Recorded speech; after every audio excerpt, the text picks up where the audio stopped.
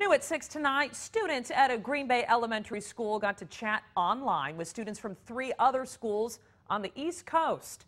It's all part of a national show and tell for the White House, showcasing how technology is enhancing education. Chappell Elementary was chosen because they were up for a state award for their use of technology in the classroom. When the White House contacted our State Department of um, Public Instruction, they gave them our contact information. And so that was how we have been recognized for some of our technology innovations at the building. Students from Pennsylvania, South Carolina, and North Carolina were part of the group chat session this afternoon.